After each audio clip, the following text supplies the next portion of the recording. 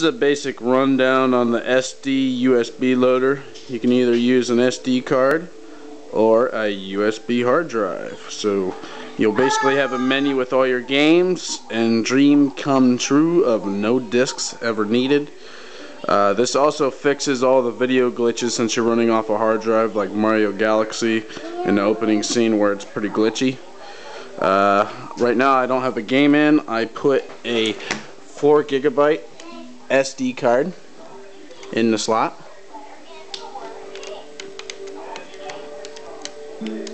I am on uh, version 4.0.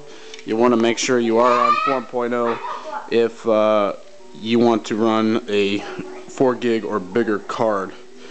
Um, and the pack will be updated today too as well so you can actually get all the files you need for this and you'll have a channel on your dashboard.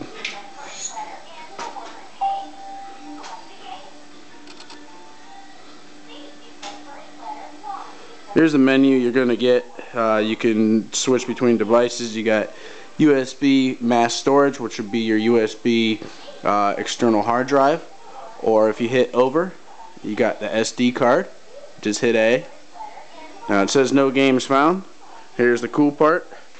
Doesn't even need a retail copy.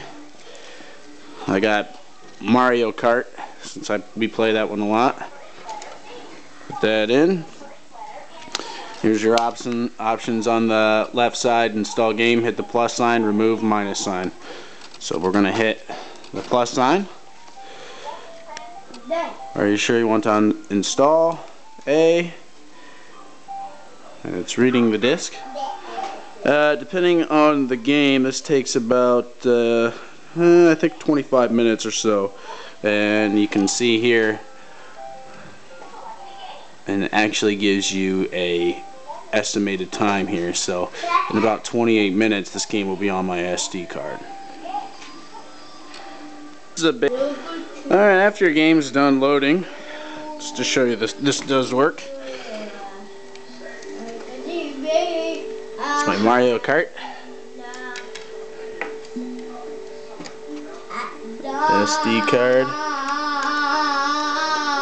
No disk in the drive. Fire up your SD loader.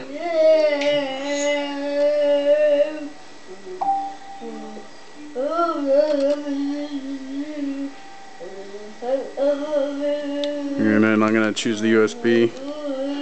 There's Mario Kart.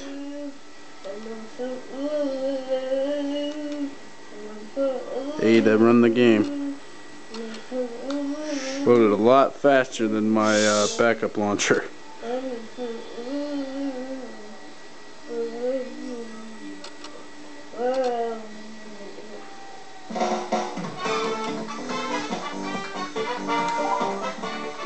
There it is. For any more hints,